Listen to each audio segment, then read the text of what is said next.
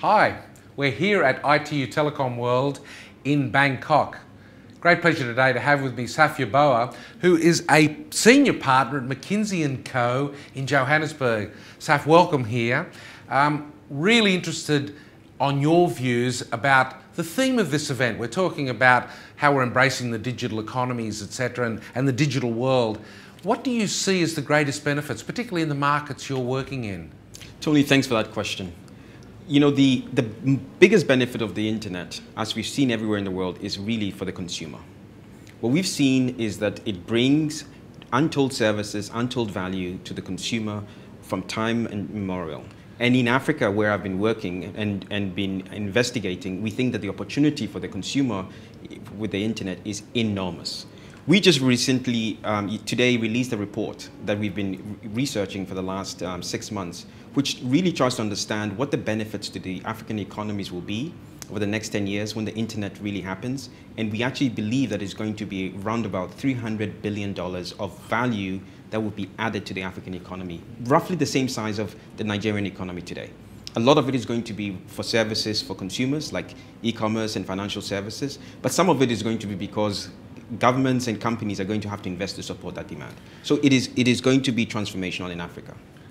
With the benefits, of course, come the challenges and potentially problems. Do you see any as, uh, as you move towards this new era? You know, there are, with every new technology comes challenges. Uh, and we, we as societies need to, need to figure out how we deal with this and the, and the decisions that we want to make in terms of you know, the, the, the getting the benefits and also managing the challenges. I think the biggest challenge that we will all have to deal with is around security and around how companies use your information and also around whether or not um, we, you know, how it, uh, the digitalization, you know, provides benefits for to one consumer versus another and accelerates or exacerbates the problem of, of what we call now the digital divide. That's the big, those are the two big challenges.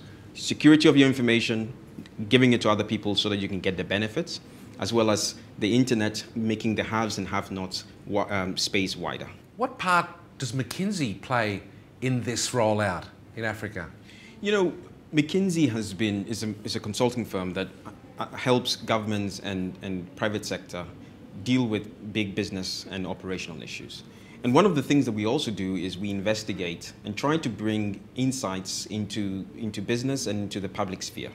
And, and what we are really doing is trying to highlight the opportunity so that both government and private sector can take it on and really have the, and to build the courage to invest, to, to make bets, to, to, uh, to get this opportunity. So our real contribution is sh shining the light. And that's what we've tried to do with this report that I, I mentioned that we just released called Lions Go Digital.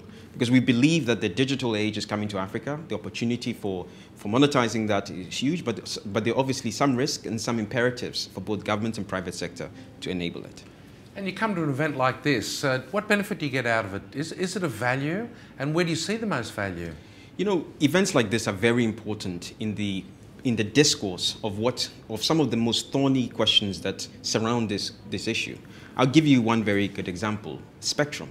There's a there's a very important decision to be made around how spectrum is going to be released to enable private sector and public sector to use it for the benefit of the internet. And it's in events like this, in the small corners, in the plenaries, in the, in the discussions, that the, the questions, these thorny questions are debated, elaborated, and people's minds change, sometimes slowly, so that we can actually reach some sort of discourse, some sort of decision around what we're going to do with some of these decisions, to be frank, which there's no easy answer to. Yes. Saf Yeboah, thank you so much for being with me today. And, uh, and we wish you well in endeavours to get uh, the digital economy rolling through Africa. Tony, thank you for having us. Thank you. Cheers.